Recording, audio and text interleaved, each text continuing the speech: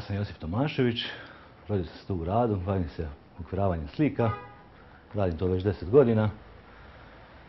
Slobodno vrijeme treniram djecu u osnovnoj školi Mokošica rukomet, živim u Košici. I to je to.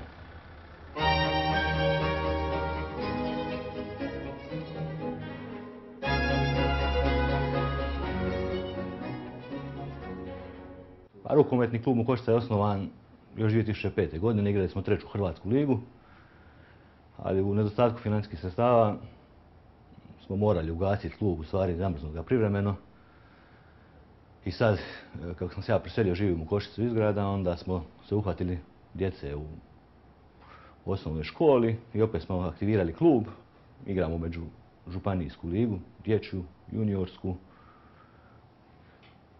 Djeca vole rukomet. I tako, dosta je veliki odaziv bio.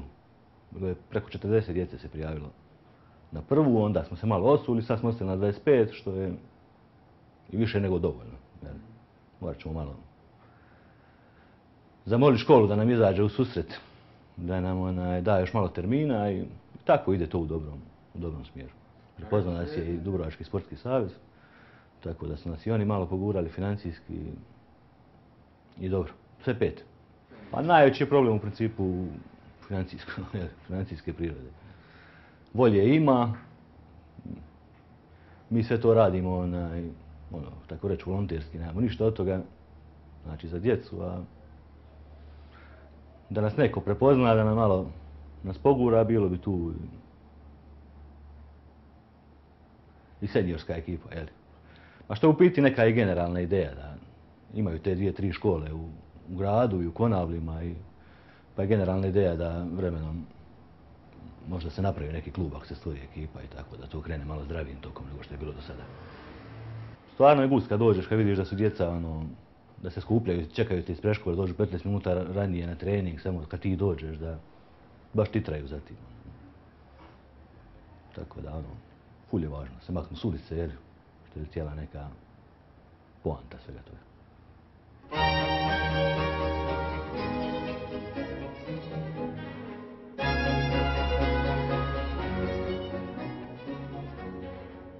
Ja mislim da je grad, ono, super za život. Jest da je zimi pustinja, ljeti gužva, ali ljeti zaradiš, zimi užaš.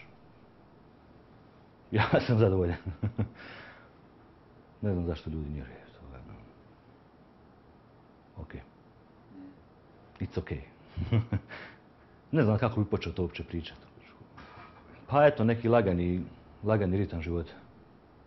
Znači, uh, bez presinga. Možda ljeti ova dva mjeseca dok je sezona bude malo, ali... Pa ljudi su dosta i tolerantni. Ne može se, ima ljudi koji kopaju po smeću, ali je to puno manje nego u nekim većim gradovima. Znači da mislim da da je super život ovdje u radu. Ko ne radi, puno razmišlja. Trebalo bi možda manje razmišljati, a ne znam, više raditi. Puni su kafići tokom radnog vremena. Ono. Svi pričaju o milionskim iznosima. A onda kad treba platiti, onda svi gledaju. ne znam šta bi još rekao, eto.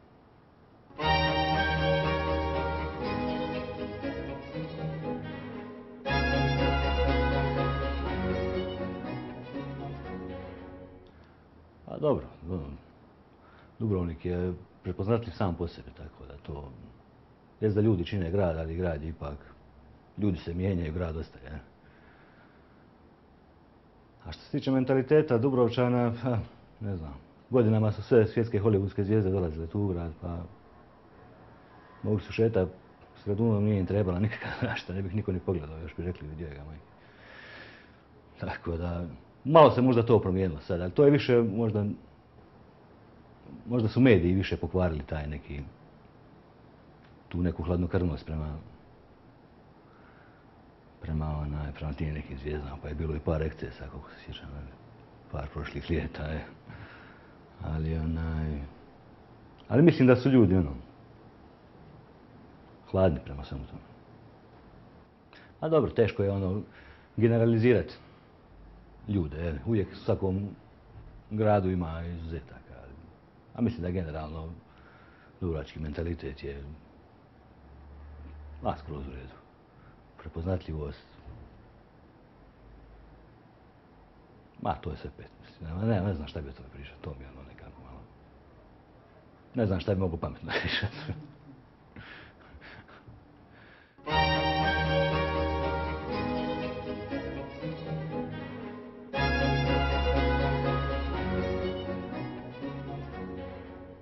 Pa ne znam, mislim da se ne, kad se pogleda taj period od, ne znam, ajmo reći od,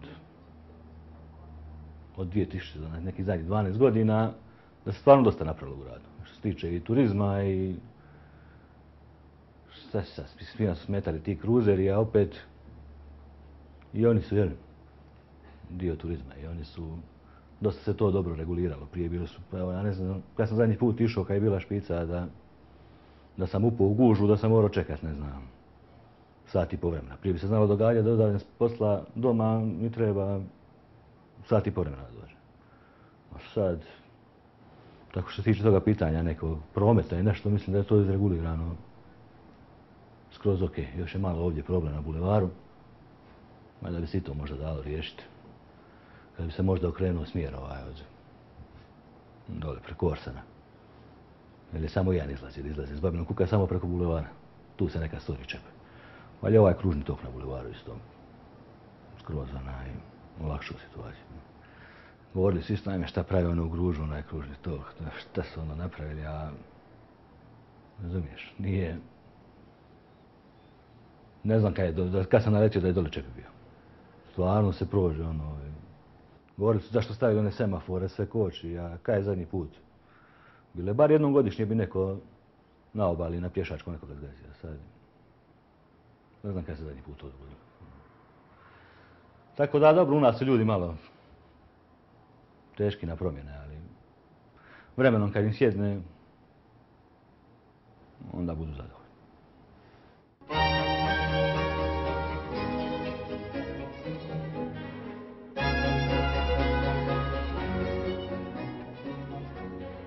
A dobro, ja sam generacija koja, ne znam, koja je sve tu skupa prekinuo rat, tako da ne znam jesam li kompetentan da uopće komentiram. U principu u ratu nema šta raditi, onda jedno što ti ostaje, ako nisi obučen, naravno, jedno što ti ostaje je da se u biti zbližiš ljudima i imaš više vremena da provodiš s ljudima, ono. Tako da, onaj, mislim da u tome leži ta neka tajna veće prisnosti. I onda svi su u istoj nevolji i mekši su dosta nego... Pa ja znam gore bar u Gružu sam živio ono, za vrijeme rata. E, nisi, mogu si auto gdje si htio. A sad ako ostaviš ispred garaže, ono, policija ti je u roku 15 minuta kuca na vrat, tako da, na. Svako vrijeme nosi svoje, ja neminovno je da će stil života u gradu se vremenom promijeniti. Sama onaj način života u državi, u svijetu, jednostavno te tjera da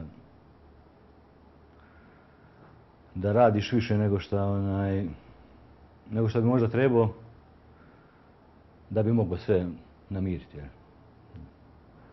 Zadužili su nas do grla. I onaj, šta ćeš, tako je to. Ne, sad bi trebalo sve to. Što svi govore, što smo lagodno živjeli godinama, sad to vraćamo se debelim kamatama.